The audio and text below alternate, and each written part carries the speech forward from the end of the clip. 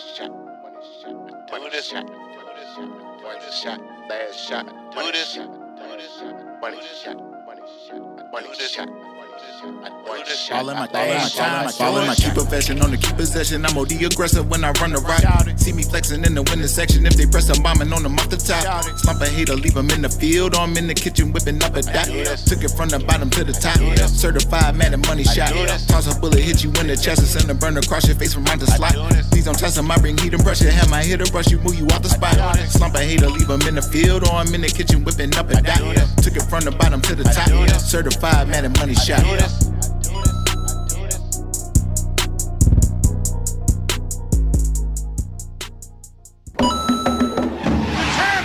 If you guys are looking for fast, cheap, reliable coins for your college football 25 team, check out my coin sponsors at MMOEXP and use discount code MONEYSHOT for 5% off your order. Link in the description below. The champ is here! Welcome back, Money Team. This is Madden Money Shot, sniffing out the college football 25 cheese as always. In today's video, I'm going to give you guys the very first offensive play that I'm going to put out in all of college football 25. The reason I haven't put anything out yet is because I was waiting until my first ebook was done and it's finally complete. It took me so long. It's massive. It's like 63 pages long, and that's the Georgia offensive ebook. Link in the description and the top pinned comment as well as on my website, maddenmoneyshot.com if you guys want to check that out. Which I told you guys when I put out my best playbooks that that was number one to me. It was really number one because it has so many bunch formations. It has the halfback cluster, it has the bunch, the, the bunch by flex. So many of these are meta. Oh, and it also has the bunch in the single back. So I know a lot of people really love bunches, but you know me, if you watch my channel, you know I'm not into bunch. I don't run bunch at all. I like tight formations. I run this formation a lot. I run the wing slot a lot.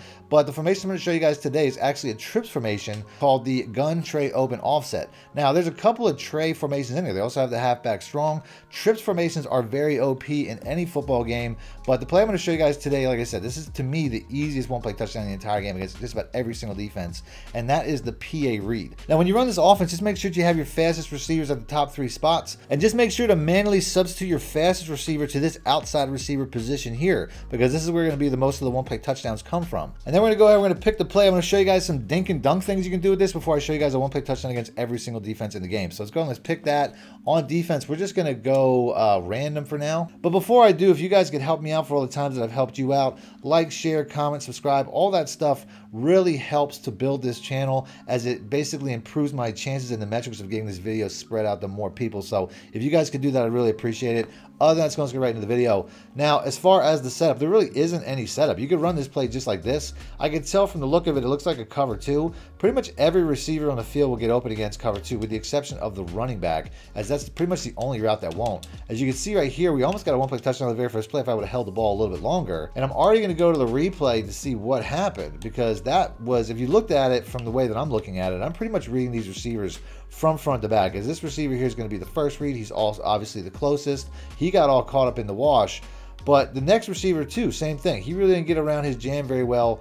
But what happened to this receiver? For some reason, this receiver outside here just slips right past him without getting jammed. And he'll do that every single time against every single man coverage. And it was to the point, like I said, if I would have held that ball and threw it a little bit later, definitely would have been a one-play touchdown. And that's pretty much the theme of this video is that B receiver is completely broken.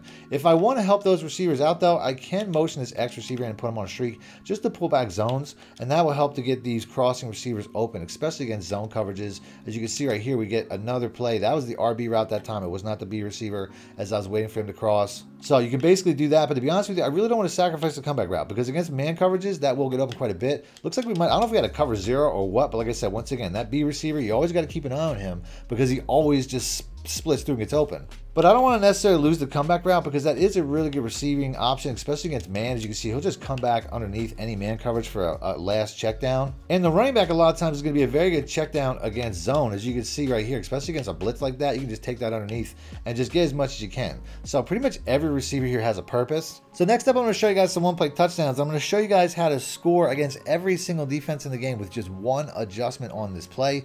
Let's go and let's pick that again. We're going to start off with cover zero, even though I feel like we already saw cover zero, but let's go and let's pick the zero blitz. Now against cover zero, you really just want to check and release the running back and you want to slide protection until you pick up the actual blitz.